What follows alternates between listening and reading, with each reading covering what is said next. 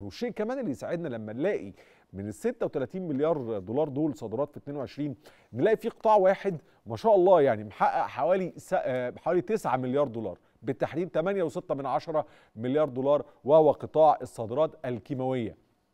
دي آه، صناعة مهمة جدا في مصر ومصر من الدول ال- المتميزة والرائدة في هذه الصناعة في آه، الشرق الأوسط وفي أفريقيا. صادراتها في 22 آه، قطاع الصادرات الكيماوية زاد ما شاء الله بنسبة الربع يعني تقريبا حوالي 24% رقم بيلامس التسعة مليار دولار تقريبا. في 22 في حين السنة اللي قبلها كان في حدود السبعة مليار دولار يعني في واضح إن نمو كبير في آه، صادرات آه، آه، أو الصادرات الكيماوية وهذا القطاع في مصر يعني.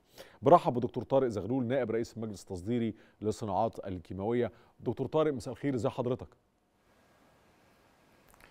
مساء الخير يا فندم. أهلا وسهلا بحضرتك ومشاهد- المشاهدين أهلا وسهلا يا. فندم. يعني الحقيقة واضح بالتالي إن آه، قطاع الصادرات الكيماوية نقدر نقول اللي هو آه، الجرار تقريبا اللي بيجر قطر الصناعات آه، أو الصادرات غير البترولية تقريبا وفقا للرقم اللي قدامي اللي هو ما يقرب من 9 مليار دولار من إجمالي حوالي 35 أو 36 مليار دولار.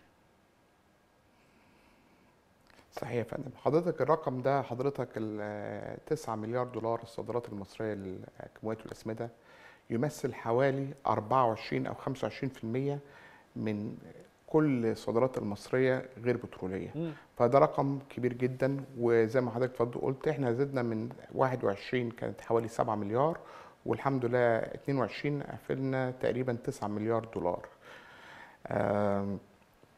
إحنا من الحاجات اللي إحنا شفناها طبعا من الأسباب اللي إحنا ساعدنا المصنعين والمستثمرين آه، والمصدرين إن إحنا مع بداية الأزمة الروسية الأوكرانية عملنا دراسة للأسواق المتاحه الجديدة وازاي المنتج المصري يبقى منتج بديل لبعض هذه الدول. طب والله خطوة مثلاً كويسة. لو ملء, الفراغ يعني بسبب الحرب.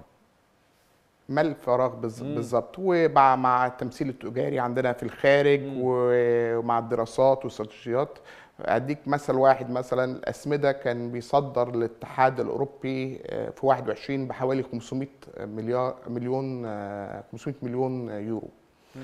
السنة اللي فاتت الرقم ده بقى مليار ونص يورو 300% ثلاث أضعاف الرقم عن و... 300% بالظبط يا. فندم ف. ال... الكيماويات وال... والمنتجات المختلفة برضو زادت في الاتحاد الأوروبي والأسواق الأوروبية. طيب الاستراتيجية دي جميلة جدا وبالتالي لو مدينا الخط على استقامته ففي أسواق جديدة وفي أسواق قديمة بتزودوا تواجدكم فيها فبالتالي المستهدف في 23 إزاي وإحنا يعني أهو ماشيين في الربع الأول منها يعني إحنا حضرتك إحنا هدفنا هو طبعا تعزيز وتقوية المنتج المصري في الخارج وزيادة الصادرات المصرية. إحنا حضرتك الهدف السنة دي إن إحنا زيادة الصادرات المصرية الغير بترولية بحوالي ما بين 15 ل 20% و- والأسواق اللي إحنا ركزنا فيها السنة اللي فاتت والسنة دي هي طبعا أسواق جديدة زي يعني حوالي 50 أو 60% من المنتجات راحت لإيطاليا وأسبانيا وبلجيكا والمغرب وبريطانيا والسودان هي دي الدول اللي إحنا اشتغلنا عليها شغل جيد جدا السنة اللي فاتت.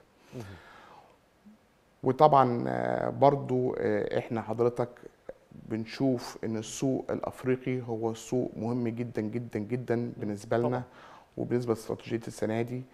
إن حضرتك ده سوق واعد ومحتاجين كل جميع أنواع المنتجات المصرية في هذه الأسواق.